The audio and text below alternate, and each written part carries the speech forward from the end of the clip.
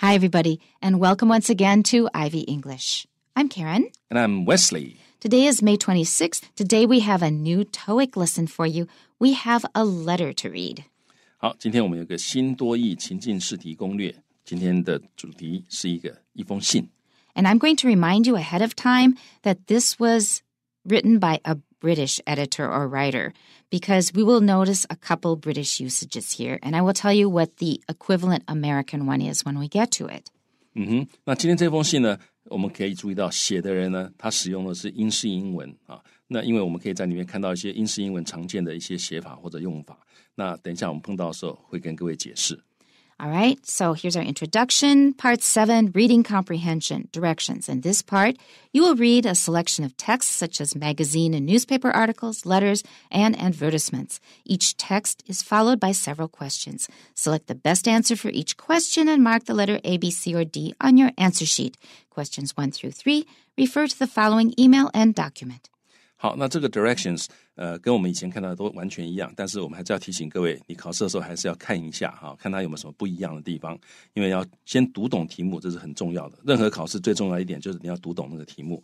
好，所以我们这个题目它就说，在这一部分呢，你会读到一个呃 selection of texts 啊，你会看到一些选文，例如可能是杂志，可能是报纸的文章，可能是信件 letters 啊，或者是广告。那每一个 text is followed by 后面都有几个 several questions 跟着。那他要你做的是选 the best answer 最好的答案 for each question。然后呢，你要把那个呃 letter 啊，看那个字母，看是 A、B、C 还是 D，把它标在你的 answer sheet 你的答案卷上面，就是选出来写在你的答案卷上或者标示出来。 And the first three questions are about this letter, and below it, there's a table, which is our document. So let's start with the letter. Now, we're going to see the first giveaway that it's British at the beginning. Or it's not 100%, but to me, it shouts out British. So from Jillian Vaughn, and then there's an email address, jvaughn at pmail.com. I don't think there's a pmail, but there could be, I guess. Now, why does that look British? Because the name Jillian is pretty common in Britain, but not in the US as far as I know. 嗯，好，那这个 Gillian 这个字呢， 比较常在英国听到，就英国人叫 Gillian 的比较多哈，美国人比较少叫这个名字，所以这个让我们觉得，哎，这个感觉蛮 British 的。 Vaughn also looks British, but this is actually fairly common in the US as well. Okay, next we have our recipient. Recipient is the person who's receiving the letter. To with a colon. 然后呢，后面的都是 呃左边对齐, but then the email, the, the computer will take care of that for you. The email program will do that. And it says service desk. That's the person who's going to receive this email. And the address is service at spaceageselfstorage.com. 好，那这个他写给谁呢？写给服务台，哈，这个对象是服务台，当然这也可能是人的名字啊，不过应该是指那个服务台了。 Yeah. And so we don't know who it will be because there are probably many different people who will be uh, responsible for replying to these emails. So service desk is just their department. Ne- next is date, February 15th. Now, this is American because if it were British usage, they'd put 15th first, 15 February, but they wrote February 15th. So this is actually, this one has a mixed style. 嗯哼，那这个呃 February 写在前面，然后十五写在后面，这个其实是美式的写法。 如果英式的写法的话，啊，它会这个十五会写在前面。 Right.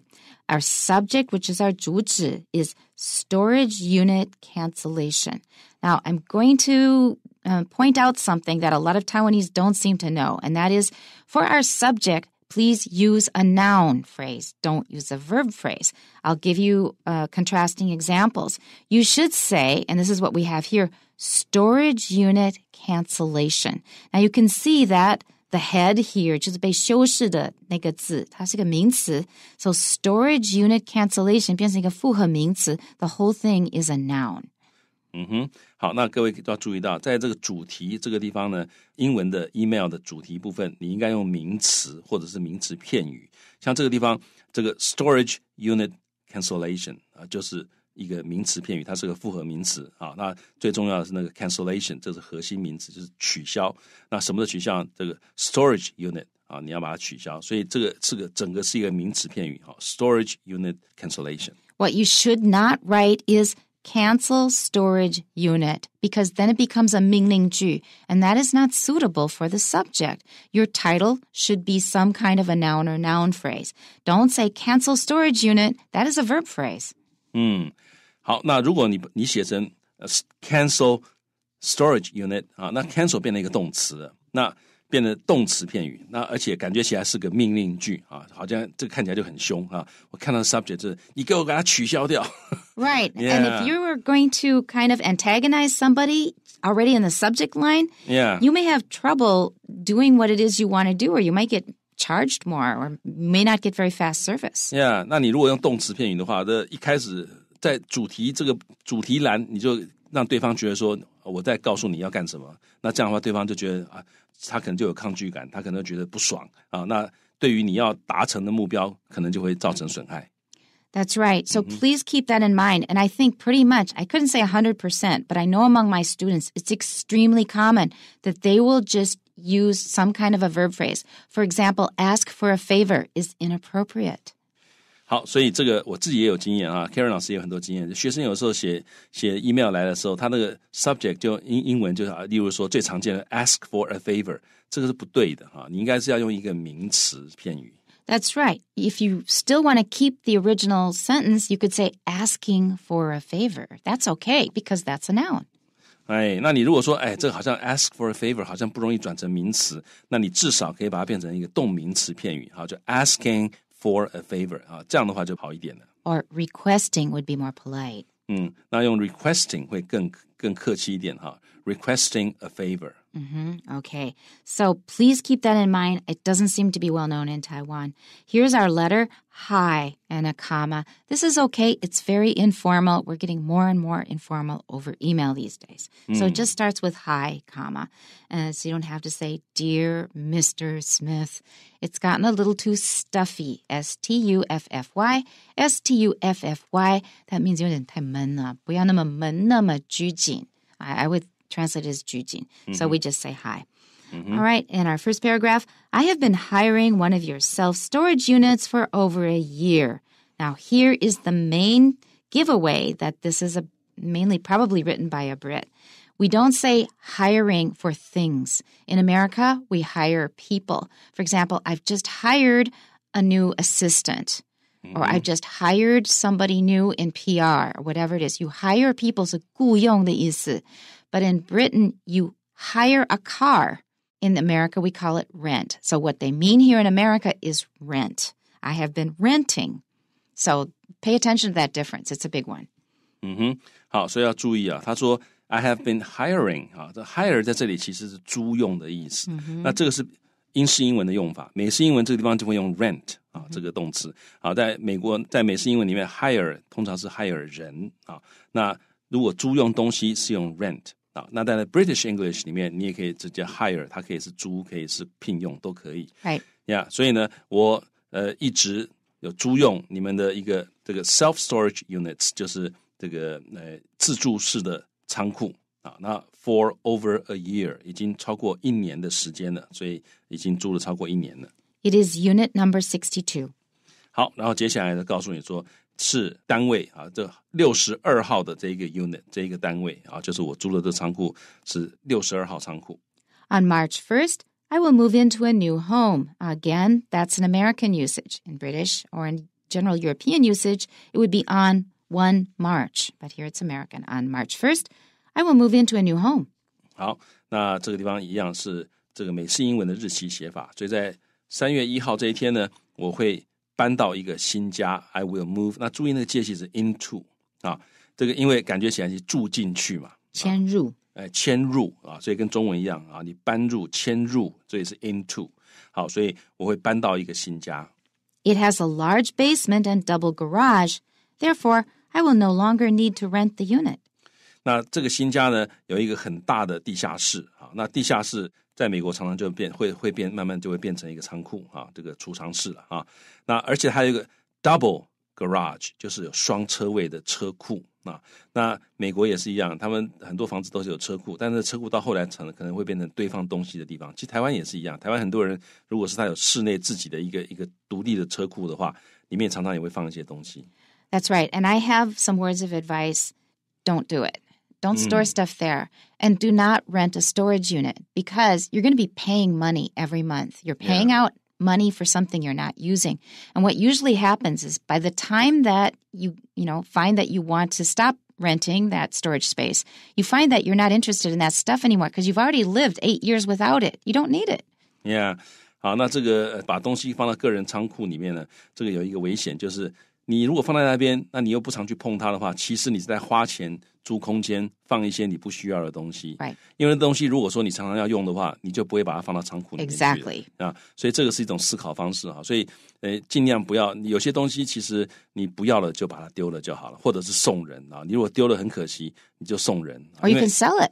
呀，或者把这个很大家都很会上网去卖东西，你就卖二手东西上上网去把它卖掉啊，这样的话呢，这个也比较环保一点啊。你自己一个人堆那么多东西，那有的时候像其实时间会过得很快哈。像我年轻的时候觉得说，哦，这东西我好喜欢，这本书我好喜欢，我通通买起来，哎，可是转眼之间二三十年过去了，那再再想一想，哎呦，你在这个世界上可能也在大概就是在几十年而已，那一下也会过去的。所以总有一天这些东西你会慢慢发现啊，也许不需要了。which Wesley and I are now having to face up to. Yeah 啊，我我跟 Karen 老师都是一样，我们有太多的书啊，那现在这个呃要想办法处理这些书啊，所以 Yeah. 不只是书啊，任何你在生命里面 accumulate 的东西，各位发现你到某一个生命阶段的时候，你会开始要简化，哎，把一些东西慢慢要处理掉，所以最好的办法就是一开始你就不要累积 That's right. So Marie Kondo is now very, very popular in the U.S. 哦，它是个显然是帮你怎么样？Does she teach you how to get away things, get rid of things？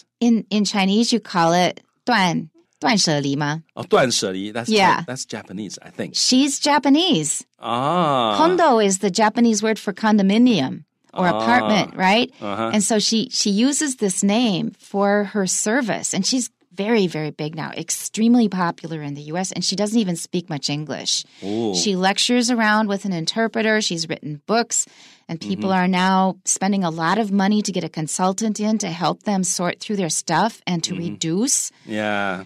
Yeah, so she's really popular. This is Duan Shili. So we are trying to simplify, and I really encourage you to do it earlier rather than later. Yeah. One way to imagine it is to pretend that you have to move next year. Mm, Just imagine yeah. you're going to have to move next year, and mm-hmm. it's going to be very, very painful if you don't get rid of some of the stuff you're not using. Mm-hmm. Or if you're older, remi- remember that when you go, we're all going to die. Mm-hmm. You're going to leave that mess for your kids. Do you yeah. want to do that to your kids?，Yeah，好，所以这个东西你堆很多啊，那你要你有一个很好的办法，就是你幻想，你就假设一下，你明年啊就要搬家了，Yeah. 那你就要想有哪些东西我现在其实不需要。那另外一个很简单的原则就是，如果你发现这东西已经几年没有去碰它了，那就表示你不需要。Right? 呀所以就尽量断舍离啊。那刚刚这个 Karen 老师讲，在美国现在有一个专家断舍离的专家，靠这个也可以赚钱。好，所以也表示很多人有这个需求，大家都觉得现在被物质压的啊，不只是你买东西的压力，还有你存放东西的压力。大家都觉得那个东西是个压力，各位其实可以试试看。如果你把你一些不要的东西丢掉，你其实心情会轻松。That's right. Yeah. You feel sort of like you suddenly have a wide open space to do what you want to do instead of feeling closed in by your stuff. Yeah，所以这个地方他他现在买这个大房子有一个危险，就是 Yeah. 它地方大了，它可能就会放更多的东西。 Right? 那将来可能就发现更多更难处理的东西啊。不过 anyway，他这里说 Yes. 他要搬到新家了，所以呢，他说我不再需要，I will no longer need to rent the unit，我不再需要租这个呃厨房的空间了。 At least he is not leaving the problem or she is not leaving the problem for somebody else.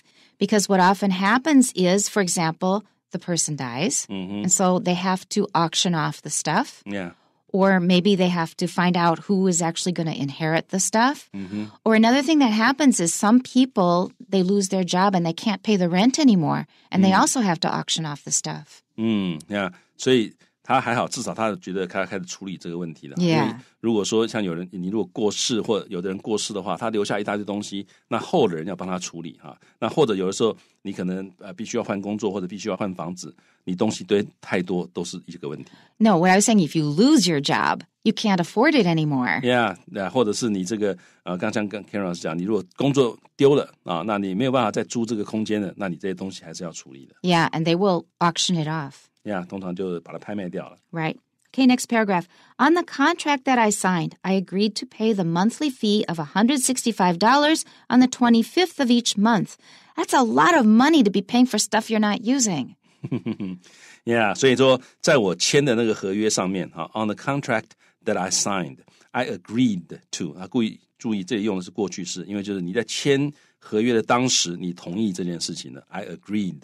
好， 我要同意什么呢？I agreed to pay 支付 the monthly fee of，就是每个月支付多少钱。那各位注意这个习惯用法，to pay the monthly fee of 多少多少钱啊？所以我请我同意支付这笔钱啊，再怎么样。on the twenty fifth of each month，每月二十五日，我同意支付这笔钱。那这这个像这种句子啊，各位你把它背起来，因为这个可以说是以后你反正我同意每个月几月几日支付这笔钱，你就是这样子说法。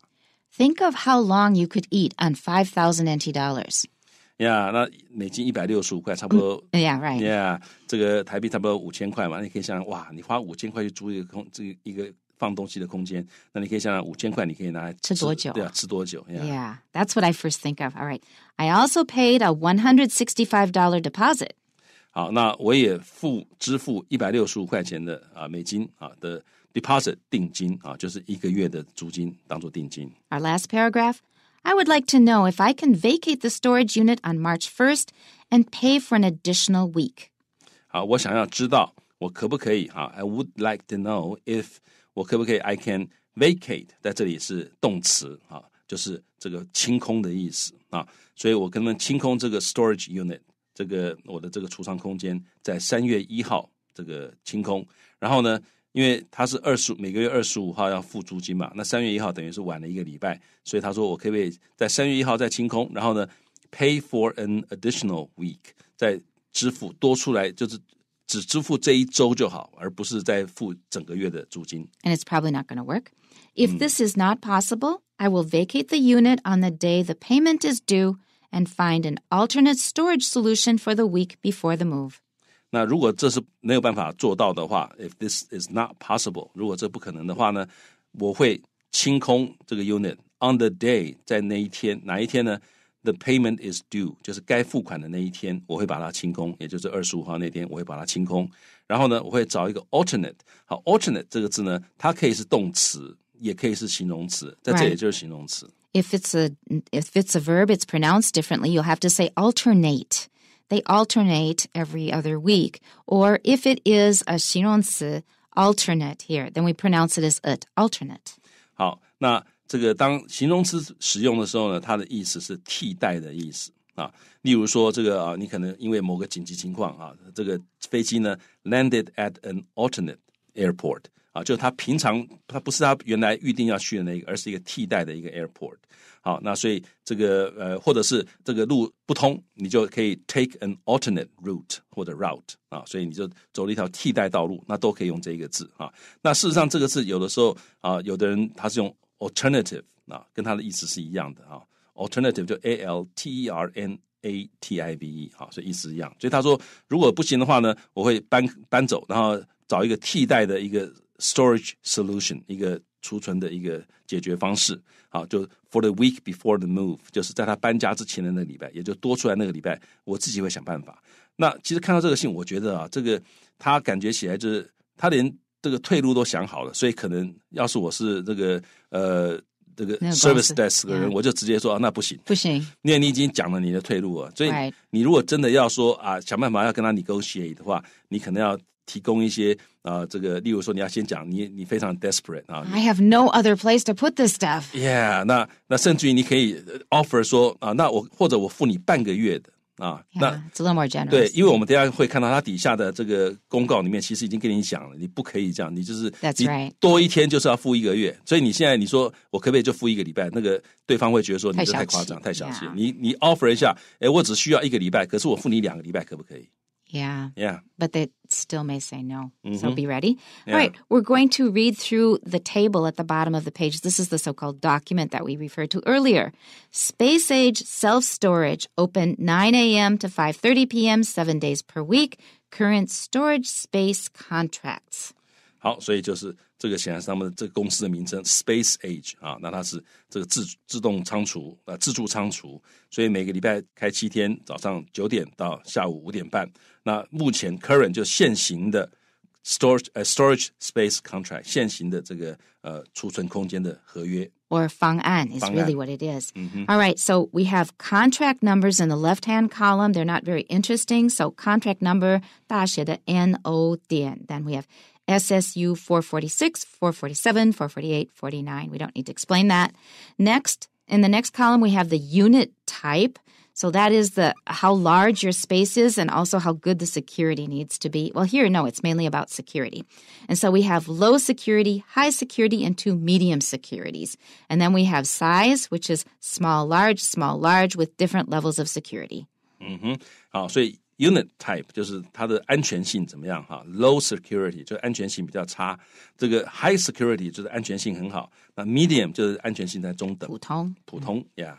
And the cost per month varies from $55 to $165 for the high security large one, $85 for the small one with medium security, and uh, $110 for a large one with medium security. 嗯哼，好的，各种不同的价钱。 And then the due date is the 12th, the 25th, the 1st, the 3rd. So each one has a different due date. And then here we have a little uh, asterisk. That means there's a note at the bottom that you better pay attention to. Storage units are only available for one month blocks. 啊、所以这里讲 one month blocks 就是一块一块是一个月一个月一块，也就是说你为一次单位。为单位，你 Yeah. 每次以一个一个月为单位啊，are only available，然后呢以一个月为单位。 And the next note with an asterisk is vacating storage rooms must be completed by the end of office hours on the date payment is due, no exceptions. 啊，所以很严格，no exceptions，没有例外。什么没有例外呢？这个动名词片语当主词，vacating storage rooms 啊，你清空这个储存空间呢，must be completed，一定要完成。什么时候一定要完成呢 ？By the end of office hours，就是下班前。所以各位注意，下班前英文就是 by the end of office hours，所以一定要完成，在下班前完成。在哪一天的下班前完成呢？在这个 the date payment is due，就是你该付钱的那一天下班前，你一定要完成清空你的这个呃仓储空间啊。那 no exceptions，没有例外。 I guess 他们不信邪. Yeah， so they didn't just didn't believe what they wrote.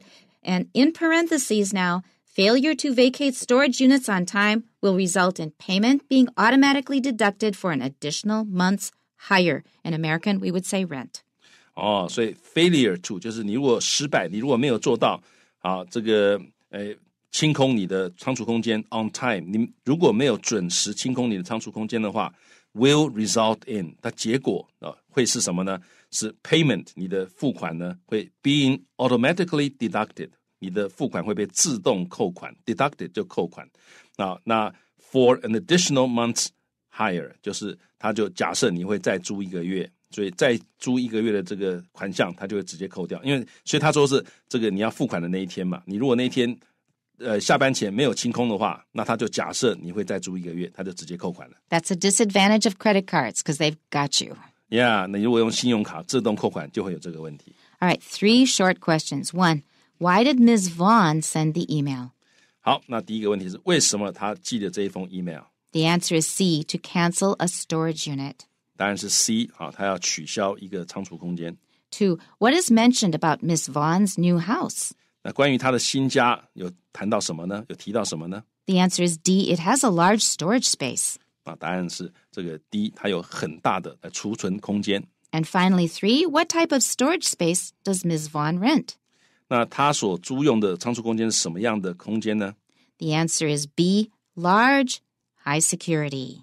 好，那答案是 B，它是大的这个空间，而且是高安全的一个空间。 Okay, and everybody start cleaning out your house. You'll thank yourself for it later. That's it for today. We'll see you.